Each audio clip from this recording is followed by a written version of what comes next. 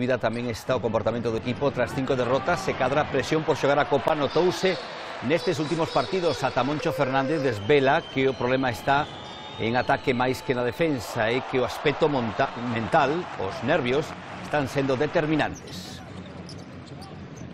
Yo creo que tuvimos más problemas, quizá relacionado con ese exceso de de nerviosismo, el aspecto mental que decís, en el aspecto ofensivo con el defensivo. Tenemos que hacer un gran partido de baloncesto y entonces cuando hablamos de eso, pues hablamos de la defensa y del ataque, lógicamente.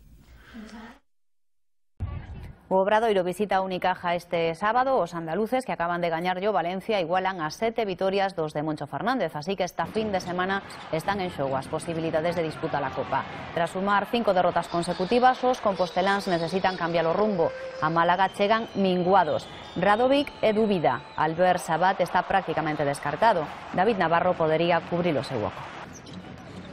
David entrena todas las semanas con nosotros en la posición de base. Es decir, no es algo que nos hayamos tenido que improvisar de un día para otro. Entonces, para él es una posición que no, que no es extraña. La competición, el trabajo diario te ayuda a centrarte en la tarea, que es lo que intentamos hacer siempre. ¿no?